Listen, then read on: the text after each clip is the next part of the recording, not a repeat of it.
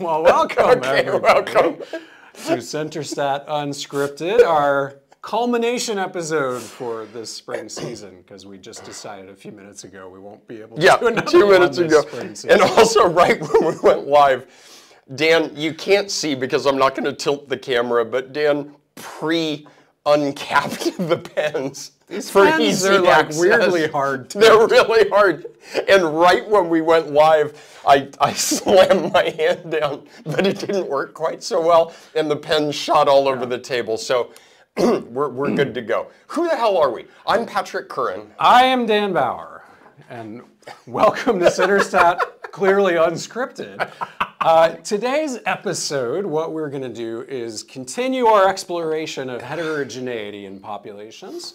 Um, this time back to observed variables, and this time expanding upon um, what we talked about earlier, where we had heterogeneity as a function of groups. Well, what if you have a variable that is not a grouping variable, but where you believe that the parameters of your model might differ as a function of level on that continuous variable? And welcome. We so appreciate you joining us. And as Dan said, this is actually going to be our last episode for the spring. We put a lot of thought, a lot of thought into this at 1158. And it turns out that contrary to popular belief, Dan and I have day jobs and we're kind of kind of running out of time. And so this will be our last one, um, but we're, we're having a lot of fun, and I hope that you know folks who join us, and we really do appreciate uh, those who are able to join us live, and also anybody who's foolish enough to watch this recorded. Um, is we've not helped by having like a different day and a different time every single time we do this. But in the fall, we'll pick a, a, date and a time and we'll keep doing it because we're having fun. And actually, when you hit our age, that's all that matters. Yeah. Plus, we're tenured, so, what are they going to do? Fire? Exactly. No, no, no, they're going to withhold our raises. because, because we're going through this whole raise review. So, and we got, did you get that? We have to We do. said we were going to minimize banter. oh, shit, you're right. Yeah. Anyway, a really high weight times zero dollars in the pool. You do the math. Yeah. So, as Dan said, we've been talking um, for, I guess this is the first, second, third episode on heterogeneity. So, the first one was what happens if we have groups that we observe. The second was what if we have groups that we believe to exist but we did not observe. And what this one is, is um, let's go back to that observed group but expand it um, in a way that's pretty cool. Again, I always organize it so that I get to draw the first path diagram. Wasn't that nice and easy to remove? Actually, it was, n- yes. All right. So we're going to do a CFA, although um, this applies to any modeling framework. Like a lot of stuff that we do is we can generalize this across a, a whole variety of settings. But this is, what we're going to talk about today is arguably the worst acronym in all of statistics. So it's moderated nonlinear factor analysis, MFA. And the developer proposed it and the guest editor of Psych Methods approved it. I don't know how it got through that chain. He was the author and I was the guest editor. It's a really rigorous review. It was a really rigorous review process. But um, it came out of what was the that Dan was working on with Andrea Hussong was a nonlinear factor analysis, which is it was a factor analysis that, that had discrete items. And it was specifically designed for that and thus moderated nonlinear factor analysis. But it generalizes to a whole host of things. And you and I have argued for like five years about renaming it, and we just never got around to it. And so that's the general term. Sometimes we can think about it in terms of um, parameter moderation, which you'll see why we call it that, but we're sticking with MNLFA for now. All right, so I'm going to do a simple CFA, and it is kind of important that we get some notation here. So lambdas represent our factor loadings. I'm going to do a double-headed uh, arrow here to represent our factor variance and psi. You don't often see this um, in path diagrams, but a triangle with a one in it uh, is represents the factor mean. That's an alpha, a psi, a lambda, and then we have theta epsilons for our residual variances. And then my favorite little guy, These seagulls, these are the nus. And those are our item intercepts, all right? And so we have item Y1, Y2, Y3, Y4. All right, so that's the full CFA. And um, we can generalize this to more items, we can generalize it to more factors, we can have continuous and normal items, non-normal items, binary items, counts, we can do anything we want, all right? Now, a big thing that we talked about in the prior episodes is when you fit this to what we now call a single group model, that is, you believe your sample is a random representation of a homogeneous population. That is, that there are not subgroups. When we obtain estimates for these parameters, there is one value of alpha hat, the mean of the factor, that holds for everyone. There's one value of psi, right? We throw hats over it to show sample estimates. And lambdas and nus and, and theta eps. And when you start thinking about this, you're making a really strong statement about the model that you're estimating, is that is these factor loadings hold for treatment, control, young, old, black, white, rural, urban, whatever your categories are, and whether they be discrete categories or not, continuity in terms of age or socioeconomic status or years of education, you're saying lambda is lambda is lambda. We got into Shakespeare quotes last time, I think. Is a lambda by any other name is a lambda, right? Is Come on, my mom was an English lit teacher. So it doesn't have quite the same ring as a rose. No, it's not, but you know, work with me, man.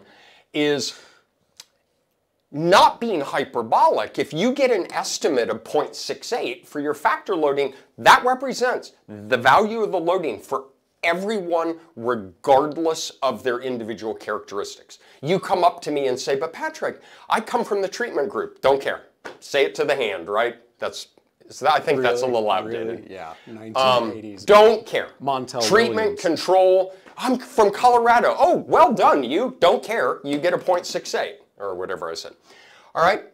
And so then we said, well, we have the multiple group approach, which is super powerful, super important. And we estimate simultaneously, not separately, we estimate simultaneously the model within group zero and within group one, and we're able to compare and contrast those loadings. So we can make this being equal across group a testable hypothesis. All right, so we make them equal, we remove the equality constraint, and we say, is there a significant difference in model fit as a function of the equality of these parameters? And only when you set everything equal across the two groups, do you get back to your single sample model? So as we noted in an earlier episode, is you know, if you never fit a multiple group model, realize that when you estimate those factor loadings, that is what you're saying. These are constant over all individual difference variables of everyone in your sample. All right, so we have the discrete group and you get a factor mean for group zero and a factor mean for group one. You get a factor variance for group zero, a factor variance for group one. And then we said at the end of that episode with the observed group, well, what if you believe these groups to exist but you didn't observe them directly? And we talked about mixture modeling. And so you can estimate how many groups there are, you can estimate the probability of each individual will be a member of each of the possible groups, and so on. Right, but what we're going to do is come back and say, all right, that's cool about the observed group versus the latent group, but what if you believe some of these parameters differ not only across a grouping variable, but maybe across a continuous variable, maybe across several continuous variables, maybe across a set of covariates that um, interact with one another. All right, well, the observed group and the mixture approach is taps out, right? That's done. It says, I'm, I'm out of here, I'll be over at the bar if you need me, all right? And they go over. The moderated nonlinear factor model is saying, no, this is cool. We can actually build a model. All right, this is Weirdo Day. We are going to end the spring on Weirdo Day. Seems fitting. It seems fitting. Didn't we start the spring also on Weirdo Just, Day? Dude, I'm talking here. Is we are going to literally build a model to predict parameters in the model. All right, this is like matrix level stuff. I don't mean matrix algebra, I mean Neo, right? Matrix the movie. Is we're going to build a model, thanks to this knucklehead's uh, developments in this area, that we predict parameters in the model. And you might be at home, wherever you are out in the world, and say, dude, you can't do that, right? You can't predict a parameter. You know what's funny? We do this all the time, all right? Is let's say we have a grouping variable. I'm going to call it g, and it's just 0 and 1. We started this, you know, uh, uh multiple episodes ago.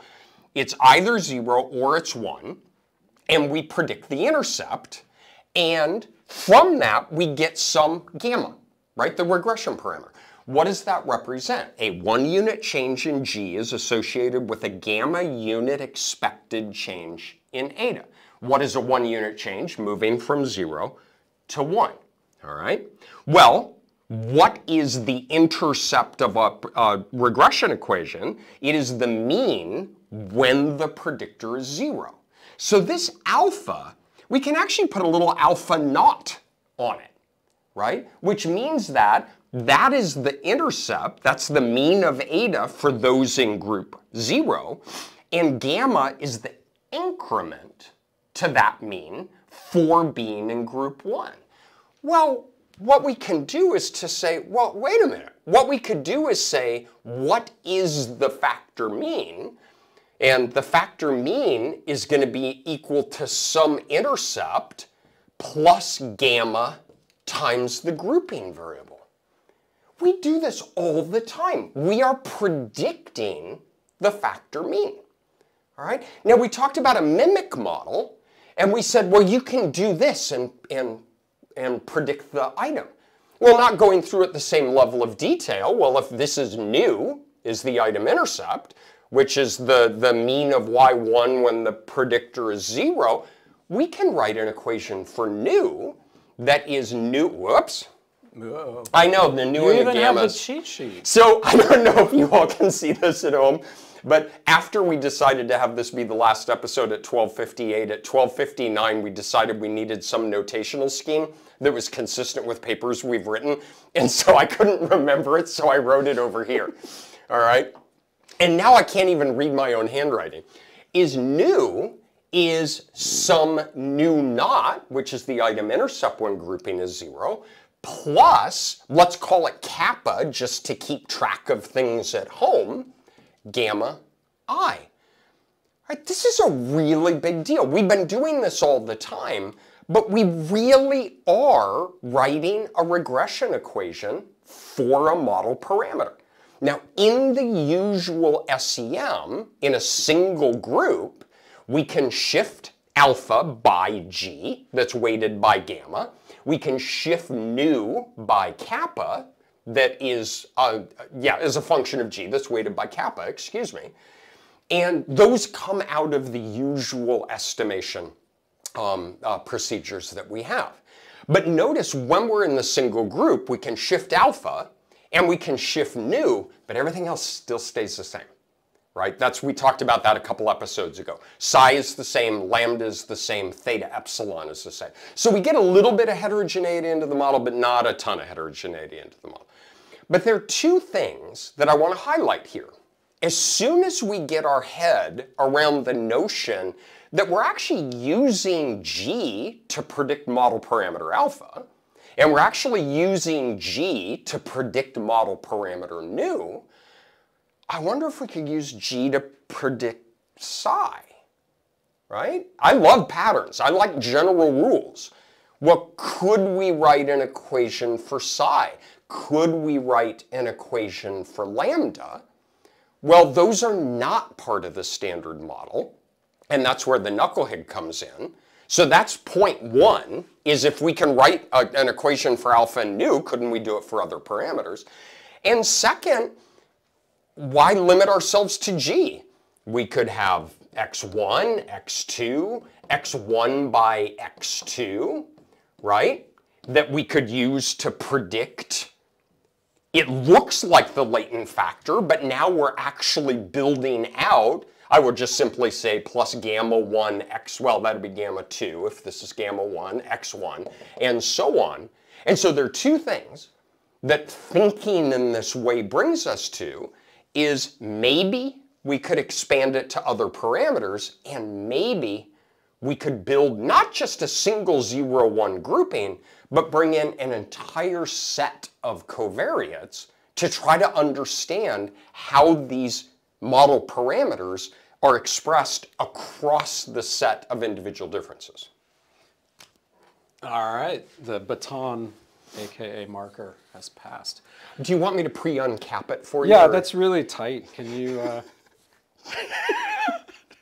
Never mind. Use another color. That one was pre on. It was broken. That's what it was. It was That's broke. Give me the rag. All right. Um, I'm just going to simplify a little bit here. Hey, that was my path diagram. I know, but I didn't like it. Dude. No, I mean I liked it just fine. It just has too much in it for me. I mean, I like it just fine. I'm just going to redraw it. that's right. That's right. All right. So I'm going to simplify it a little bit just so I don't have so many boxes running around. Um, we still got G, right? And maybe let's take a substantive example. Maybe we're trying to measure antisocial behavior, right? So maybe eta is antisocial behavior, and y1 is like uh, lying, and y2 is stealing, and y3 is borrowing the car when you're not asking if you can borrow it or taking these neighbors. these seems like I don't know where I'm know coming up with you these, know but- a lot about these. Ah, y4 is vandalizing. He tried to uncap it, and it was already uncapped. it's uh, yeah. You are I've had a a lot leader. on my mind lately. You are a leader in the field. I almost brushed my teeth with uh, uh, shaving cream the other day too. I was like, yeah. Anyway, I just noticed we're twins today. Yeah, we really need to. close. Keep thinking that. Um, all right. So let's say we're trying to measure antisocial behavior, and our grouping variable is biological sex. We've got girls, we've got boys in our sample, and we have another variable in here. Uh, we'll say is age, right? And we have individuals measured at different ages, and we think the factor mean is going to vary as a function of both our grouping variable and age. So this x variable over here, we'll just make that age for now right? And so the, the factor mean is now conditional, and actually I'll put a little i subscript on there, is our factor mean alpha is now the intercept here, alpha naught, plus gamma times the grouping variable. So just like in the mimic approach Patrick was describing, that's the mean increase associated with being in group one versus zero. But now we've also got age in there, and so there's another gamma, gamma two, associated with the age effect, and we can see the factor mean of, of this kind of these deviant behaviors, this factor is going to probably go up through adolescence and maybe come down some in early adulthood. All right, well, what about age by group, right? We could have that interaction in the model too, right? So we've got all three of those predicting that factor mean, and as Patrick described, that's fine, right? We can do that in the regular SEM because the regular SEM is well suited to model these kinds of structural relationships. And if we think that items function a little bit differently for boys versus girls, maybe boys are more, you know, going to over-index on an item like rowdiness, right? Is okay. Well, we could we could have that effect directly on y1, where the mean of y1 is higher than we expect it to be, given the overall level of antisocial behavior and the sex differences we've observed in the factor, right? So we can do that, and that's that's the mimic, and we can do that in the mimic model. But as Patrick said, there are a lot of parameters in here we haven't touched yet, right? So this all fits in the standard SEM, it all fits in the mimic model framework because everything is about means. The only parameters that we've allowed to, to have as a function of our external variables here are means, the mean of the factor, the mean of the item, right? Well, what if we're interested in things like factor loadings, right? What if we think that that, that item doesn't measure antisocial behavior the same way for male adolescents versus female adolescents? Okay, well, what are we going to do? Well, we, we can't necessarily go to the multiple groups model because we also have age differences in there and we think that there are going to be age differences in the functioning of some of the items. So for instance, taking a car without permission tends to go up as adolescents get to around 16, which is the legal age of driving here in the United States, and then it tends to go down again as you get past that. So it's a behavior adolescents are beginning to engage in at that normative time of driving, and after they've kind of mastered that norm, then you don't see it as much. Well, that that behavior might be more indicative of antisocial behavior for some adolescents versus others. Well, how are we going to let these factor loadings vary as a function of age? Age is a continuous variable. The old way of doing it would be to say, oh, we'll just chop age in half. We'll make it a categorical variable, and now we'll have a categorical age variable and a categorical sex variable, and we'll just cross them, right? We'll have young, old, male, female. That gives us four groups, and we could go into the multiple groups CFA with that. But nobody likes to cut up continuous variables, right? We get beaten over the head in our stats classes that that's a terrible thing to do. We're losing lots of information. Why should we put a 12-year-old with a 14-year-old and a 17-year-old with a 19-year-old when we think there are real differences between 12 and 14-year-olds and 17-year-olds and 19-year-olds? So can we preserve the continuity of these variables and still allow for these factor loading differences? Well, in the standard SEM, we couldn't right? But a lot of work has been done since then to allow you to express parameters of your model as a function of external variables using nonlinear constraints in the model estimation. And how the estimation works isn't all that important for our topic today, for just thinking about these models. But what it allows us to do is say, all right, let's, let's pick a factor loading, right? Let's pick the factor loading for y1 and we're going to let that factor loading, we're going to give it a baseline value, right? And then we're going to let that factor loading be a function. Ah, now I No, did it. omega. Omega, damn it. He didn't look at the cheat I didn't sheet. look at it's the right Why there. do we have a cheat sheet if Because you didn't know it. We All right. have the cheat sheet and you got it wrong. I know. Omega 1 times the grouping variable. You plus- invented this, right? I think so. Actually, I just stole it from Mike Neale at Virginia I know, Mike Neale. He thinks of everything before anybody else, but I nobody know. knows that. So you can just steal his Yeah, Mike did. If you have a really clever idea, Mike already did it. So yeah, yeah, Yeah. You'll find out like five years after you publish it, but anyway. All right, so now we've got an expression for the factor loading, much like we had expressions for the factor mean and the factor variance. And now we're off to the races, right? Because if we can build a model for any parameter of our model, right, then okay, factor variance too. Let's build a model for that. All right, this one gets a little tricky. I was gonna say is you. I this one. I want to see how Dan kind of, kind of fuzzy. He's like, we can build a model for that, and it turns out We can, it's just, it gets a little tricky. All right, why is this one tricky? Because variances shouldn't be negative, right? So we've used linear expressions for all of these parameters. Well, that's okay, right? Means can be positive or negative, intercepts can be positive or negative, factor loadings can be positive or negative, but variances, uh-oh, right? We don't want negative variances. Negative variances are a very embarrassing thing to have and have to report, right? So we're going to use a log linear model for that factor variance, and we're going to say beta. beta. Beta. Thank you, beta. so we're going to say it has a baseline value.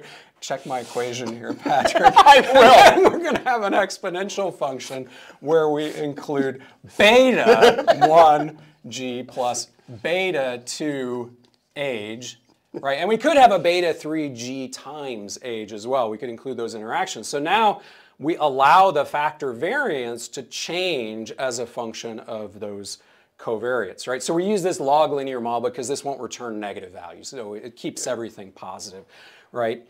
And so now we're saying, all right, let's let these variables predict the variance, right? We can even have the interaction come down there and predict the variance. So we might find that not only is the mean level of antisocial behavior higher for boys than it is for girls, and not only does it go up over the course of adolescence and then come down in young adulthood, but the variance might be much greater for the boys than it is for the girls, and the variance might go up in early adolescence and come down in later adolescence, right? And we can build models for how those factor means and variances differ at the same time that we also consider whether the measurement structure differs as a function of sex and as a function of age and so on.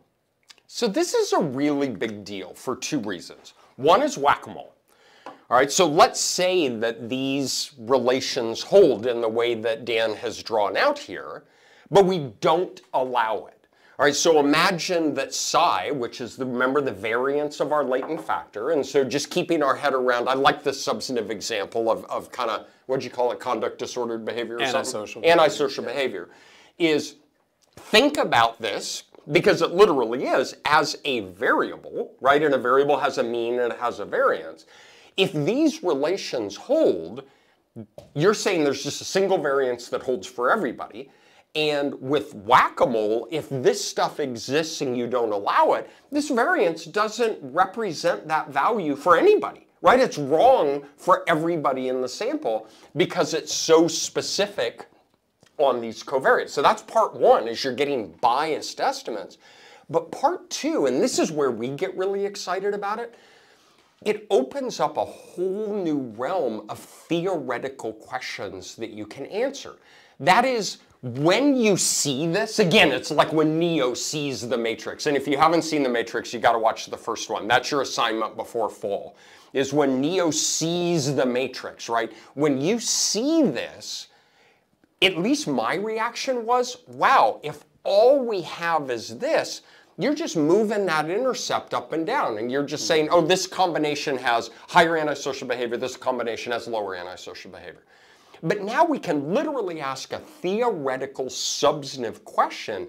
Is the person-to-person variability in antisocial behavior a function of these other things? The variance is a dependent variable in our model, and that becomes of substantive interest. And one of my favorite things, all right, so I'm gonna, I'm sorry, I'm gonna ruin more of your path diagram, Patrick. Just don't turn it upside down like you usually do. Right side up, you mean? I'm sorry. Is your mic not working? It's upside down. All right, so let's continue with our substantive example, and we'll say this is antisocial behavior, and it is kind of classical antisocial behavior, is kids are engaging in uh, vandalism and stealing and taking cars and whatnot, right? Well, another dimension that we could measure Oh. could be social aggression. I bet you don't have the And we got- covariance at your fingertips. I don't, because it's way more complicated. I want to see. He's like painting himself into a corner at totally this am. point. Right? All right. So for this factor, just like that factor, we've got a factor mean, we've got a factor variance, we've got intercepts, we've got factor loadings. I'm just going to pretend those don't exist, all right? Because I don't want to mess with those. But we, we could do moderation equations for residual variances too. They'd look a lot like that, right? They'd We usually don't too. because nobody cares. Plus, if you're working with binary ordinal items, they just kind They of don't disappear. They don't So- exist. yeah. Uh, anyway, so the thing I think is really cool is when the correlation between the factors or the covariance between the factors is moderated, right? So we could have sex and we could have age and we could have sex by, I'm running out of whiteboard. I know. I'm just going to make There the goes- intercept. he's It's gone! No intercept. All right, so we've got these and we can have those predict the factor covariance as well as the factor variances. I'm running out of So we are writing a model the spaghetti for a covariance. We are Yeah. predicting. You know what would really help? Could you express that covariance in equation form for me? There's some space over there. I'd really like to let you do that. It turns I out I cannot because, all right, so we had to use this log linear expression for the variance because variances can't go negative. Well, there's this little thing about correlations where they can't go outside a negative one and one or that gets weird, right? And so the, the equation for that is kind of complicated because it is based on a Fisher Z transformation. So it's linear in the Fisher Z, and then you got to back out to get the correlation, kind of- and then you got to back out with those variances to get the covariance itself. And yeah, I have would written, like to blame that on Patrick. I know, but you can't. I I've can't. written like I'm- 6 I'm the papers using. MNLFA. And Dan, it's in the show notes already. I put it in there this morning. But Dan describes all of this in a 2017 Psych Methods paper that he did solo. And I tried to apply it in my own data, and I went into his office. And I was like, I don't even know, I, I don't know how to do this.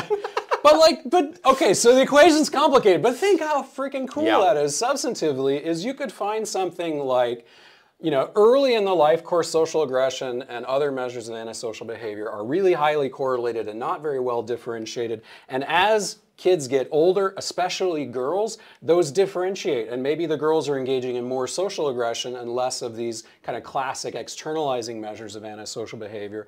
And boys catch up later, right? And you're going to see that in how that correlation shifts over time and between sex and with that interaction. That is really cool. Yeah. I- that's my favorite part of these models. And I'm just teasing on the complexity. The code is up there. This is, I mean, they're just, I just wanted to see if he could pull it out of the air. Nope, I can't. Because, no. I really can't. But to just reiterate what Dan said is think, I, See, you should, you should uncap this, this one came off easy. How's that PT going, buddy? pre, pre-uncapped is think about this. I'm just going to call this R21. All right, it's an oversimplification, but this is the correlation between factor 2 and factor 1.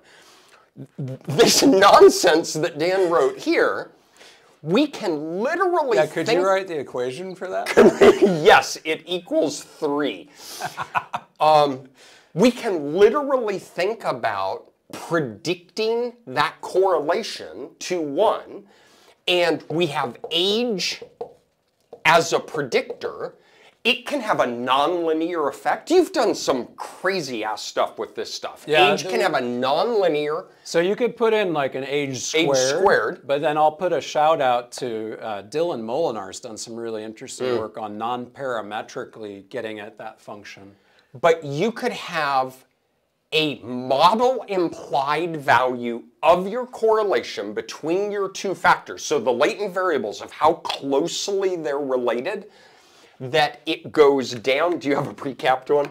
I'll do a black. Nope, there we go. Should have gone red, man.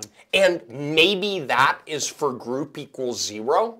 And then maybe we have one, I don't know, I'm just making this up. I don't even know if it's like, you know, substantively meaningful. But you could have group equals one, and you have a nonlinear effective age that varies as a function of group membership. And you are looking at the extent to which the two factors relate to one another over time.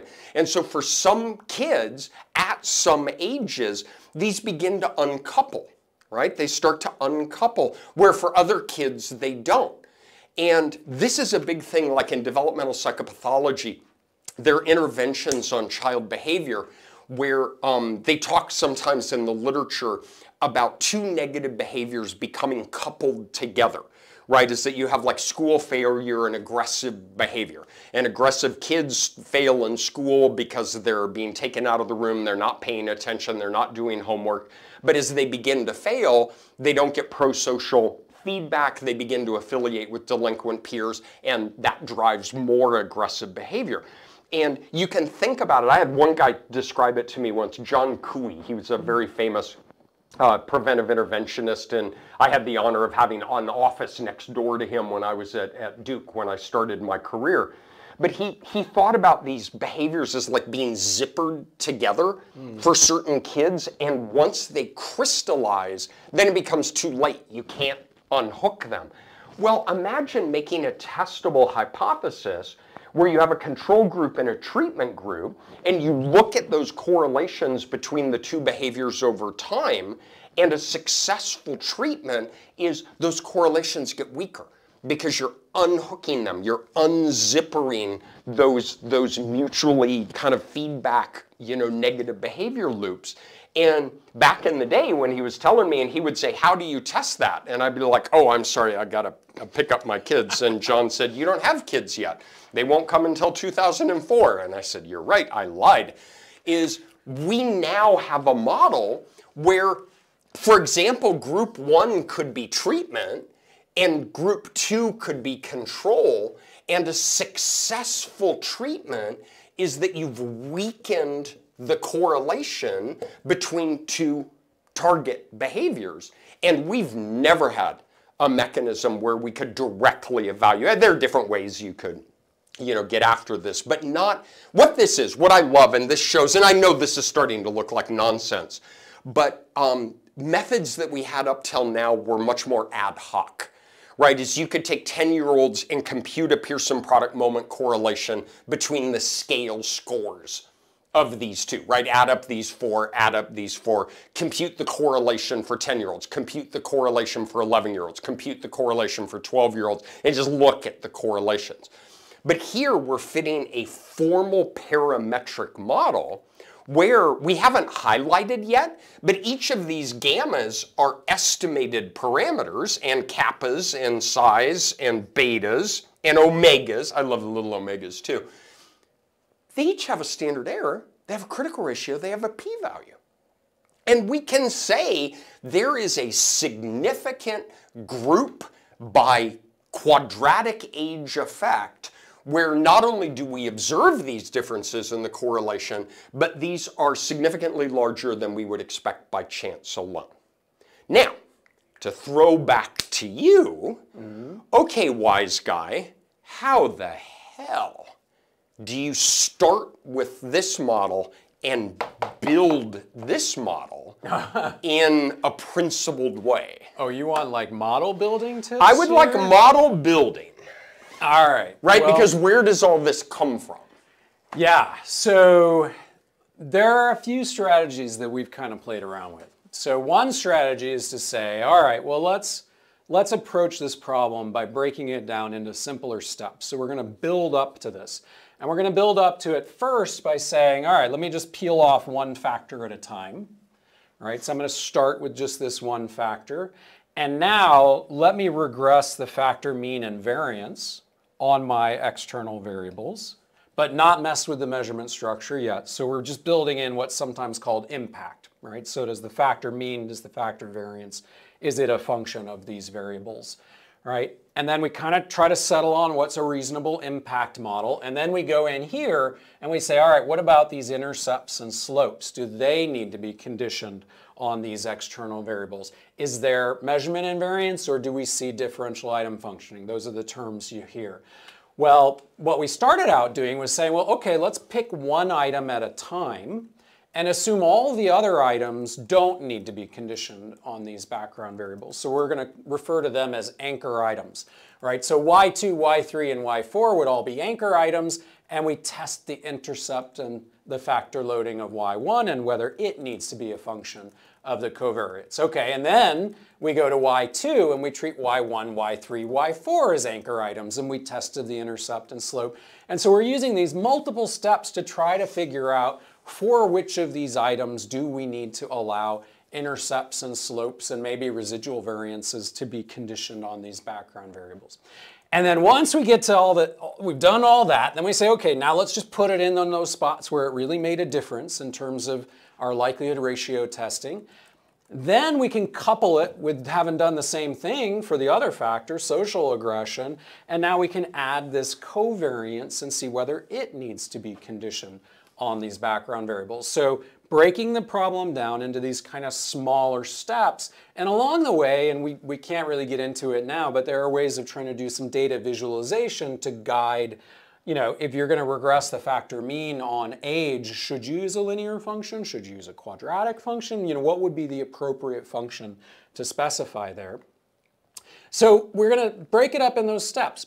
Another way to do it, and this is something that uh, some students and I have been exploring more recently, is to say, well, let's, let's start out with this big model right, that potentially has all of these differences in it, differences in intercepts, differences in factor loading, differences in factor mean, differences in factor variances, and let's make adding moderation, right, so having a moderation of the factor loading or having moderation of the intercept, let's make that expensive to put in our model, right? So when we fit our model, we're going to get a likelihood, right, and we're going to penalize that likelihood for the addition of any moderation parameters for saying that factor loading needs to be a function of age. That intercept needs to be a function of age.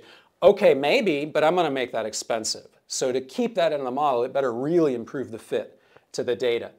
That's an approach referred to as regularization. We fit the whole big model, but we penalize these parameters to reward sparsity right? So we, we really don't want to find that every single factor loading needs to be a function of age. Every single intercept is going to need to be a function of age. We'd like to have some of these items be anchor items that measure the factor the same way for everyone at all time points, right? So we kind of want that to be sparse and regularization says, yeah, I'm going to help you make this sparse because I'm going to make the addition of these parameters expensive, right? They really got to do a lot in terms of improving the fit of the model to the data for me to keep them in there. Otherwise, they cost too much and I'm going to zero them out, right?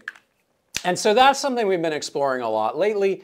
And one thing that's nice about that is as opposed to the multi-step build it up approach, it's sort of easier on the user is that's all implemented in the likelihood. So you just feed it the data.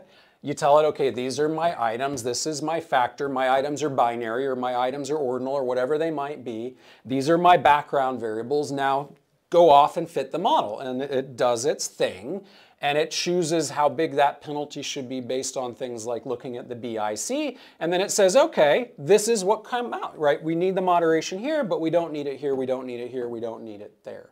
Right, so it, it's a little easier on the user because you just hit run and off it goes, right?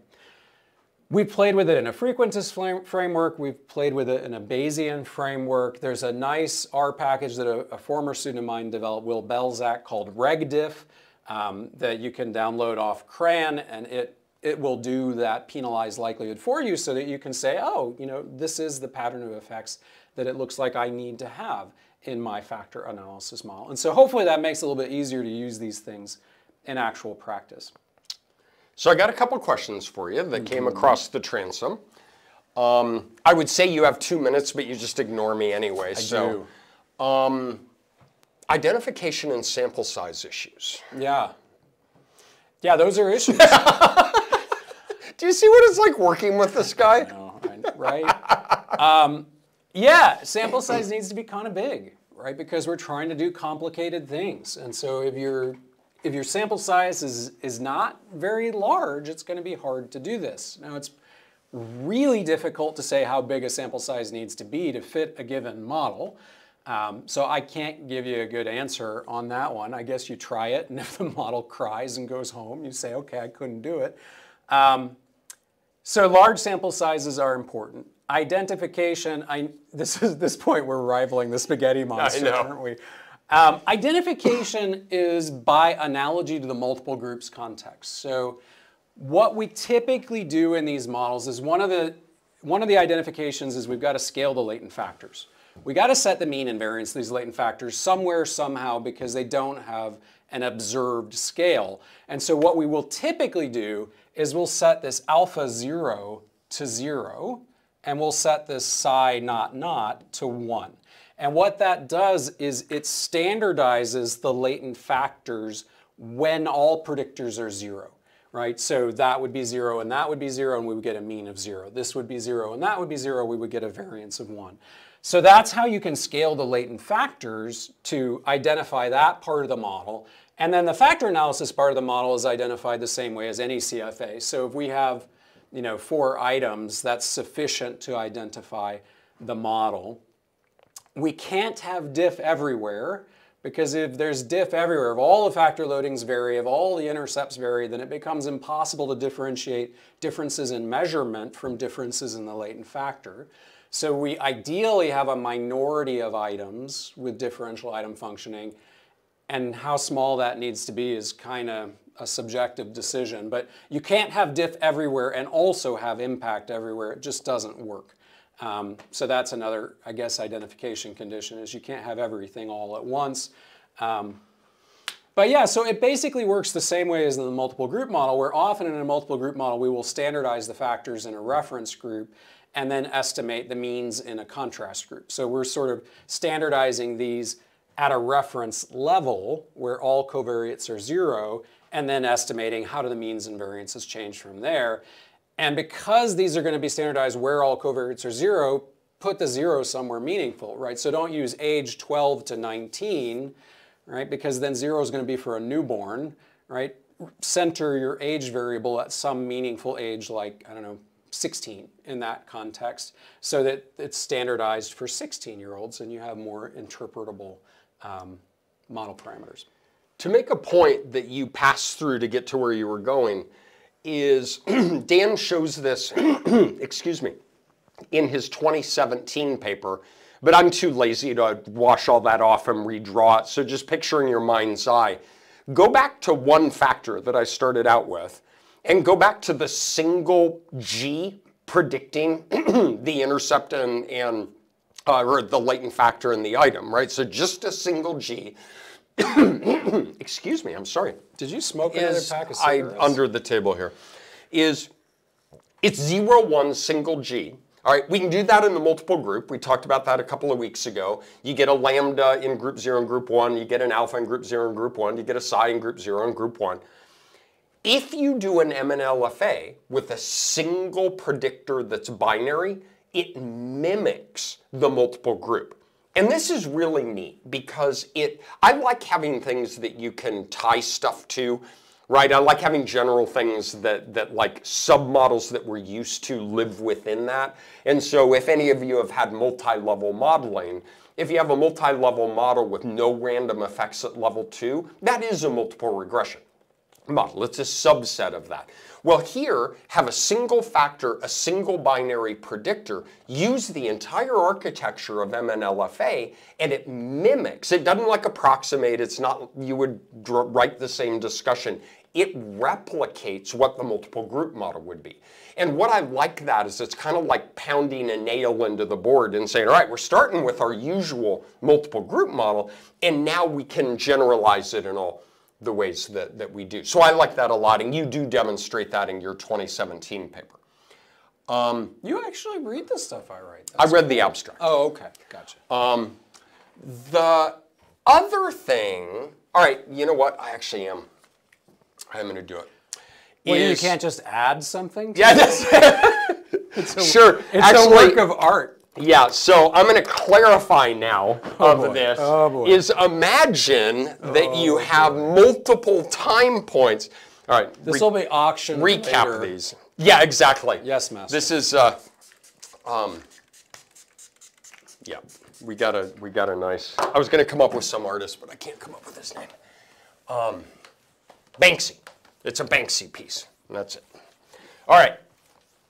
So I'm not even cleaning it well. No.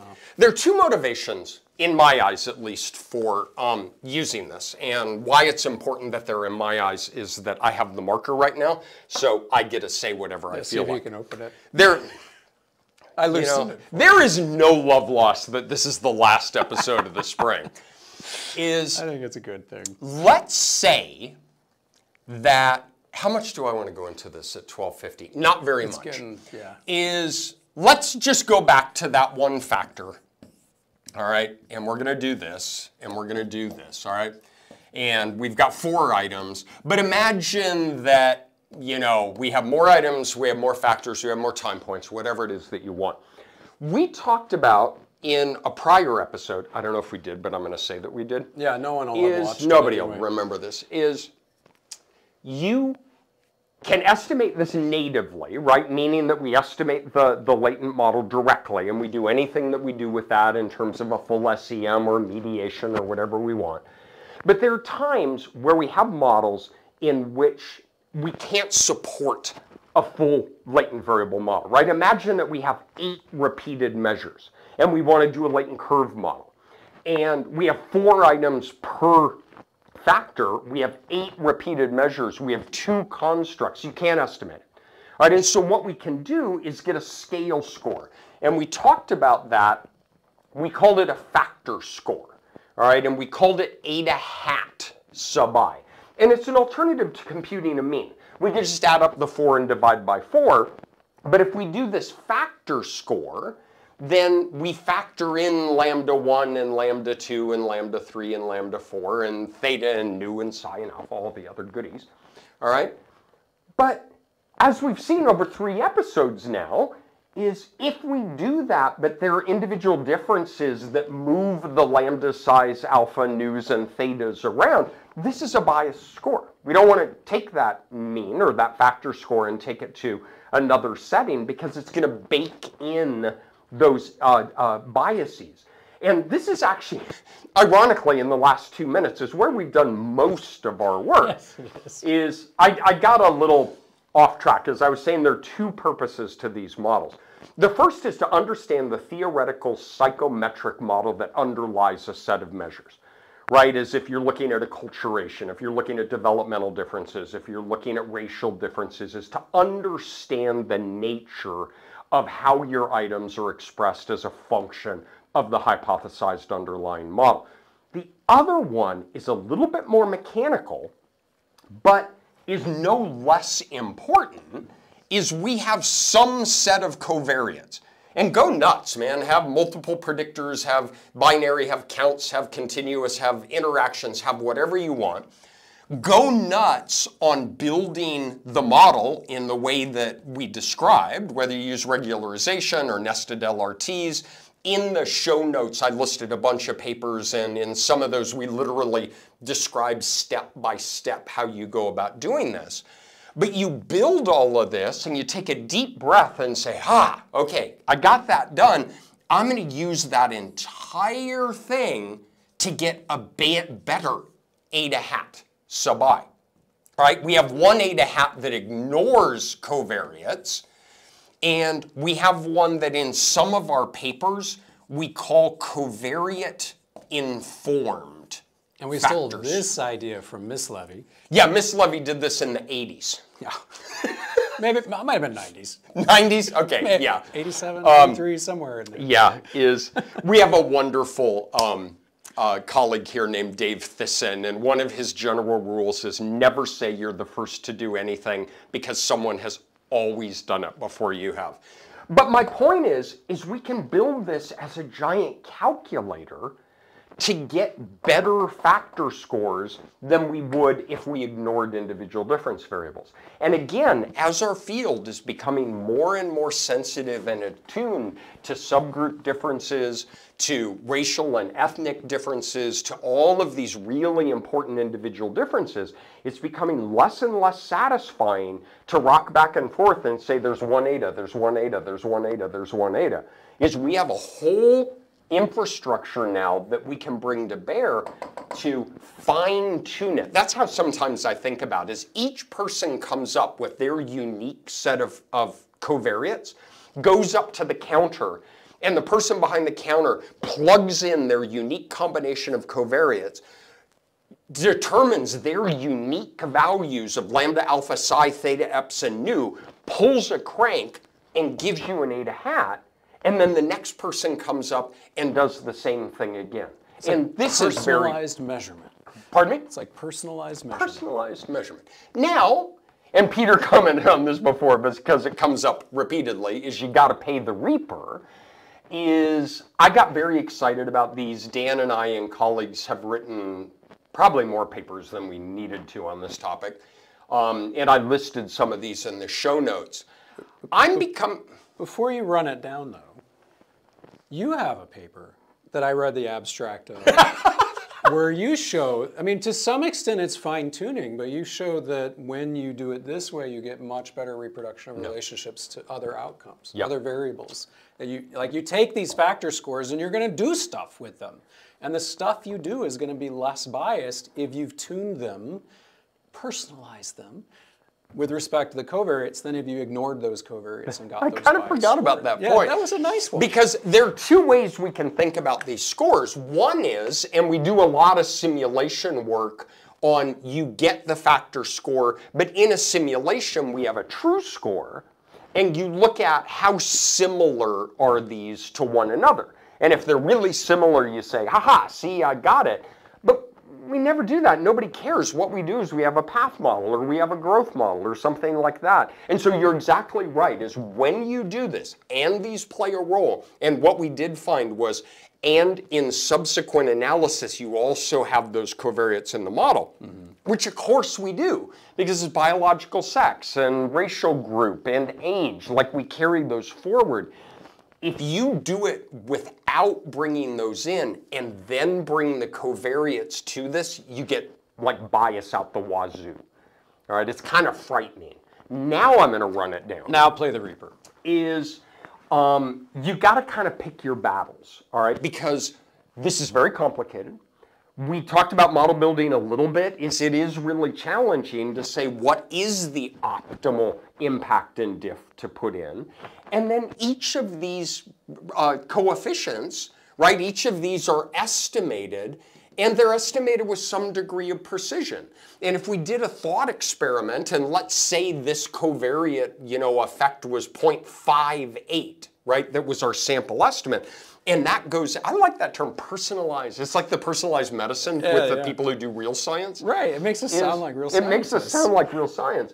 But this weight goes into the personalized estimate for this individual.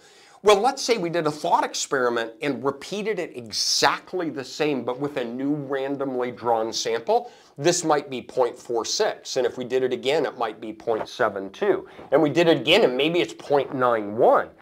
There's a whole distribution of these. And that one, if you're quanti and looking for some interesting work to do, is I think trying to incorporate that in this in some way. Yeah. Because this score is very influenced by these values. And this is only as good as these yeah. values are. And we we thought at one point about, well, maybe we should like do a parametric bootstrap. And then we were like, that sounds hard. So it'd be a good dissertation. It'd be a good dissertation to bootstrap that. Um, I did I did a bootstrap in one of the papers um, with two replications. that's, that's, not. it was bootstrap. hard. It is. It is a bootstrap. Now, granted, the literature recommends one to two thousand, and so I'm willing to admit it was not as rigorous as it yeah, could have been. Yeah. Um, but um, it was running day, and I had to go for a run, and you so gotta I, have your priorities. I did too. Speaking of which, we are going long, and I don't know, you might have a run later today. we should probably let people go. Um, so, just on behalf of both of us, thank you so much if you've joined us this semester, if you're watching these videos. Uh, we've had a lot of fun. We've hoped yeah. we've had some fun, maybe found a few informative tidbits along the way. These diagrams have been super helpful, I think. Yes, super uh, helpful. Yeah. Um, and uh, no, I echo all of that with, with Dan, and we've had a lot of fun here. And we're going to start back up in the fall, and so we will, you know, do this on a more regular basis and keep picking away at it. Um, go to centerstat.org. We got a bunch of other free stuff, and we got some not so free stuff. We offer workshops both live and, and asynchronously. Hancock and I have a four day class in measurement. We don't get into MNLFA in the spring class, but you know we talk uh, about we do get into moderation to varying degrees and. Um, you've got the mixture class. We have the free SEM class coming up in May that you would Sooner than you'd see like to think. then I yeah we don't have the date. I think for it may be May 7th. sure we'll go with We'll that go with that. and um, I don't think you're right actually It might be May 10th. I have no freaking idea. the fact that we do any of this is 10th, kind yeah, of 10th. May 10th See, 10th through 12th. yeah, you are Also right. on the website, you can join the unscripted mail list if you want to hear about when we're going to do these again and on and what. if one person subscribes it will increase it by 25% That's right.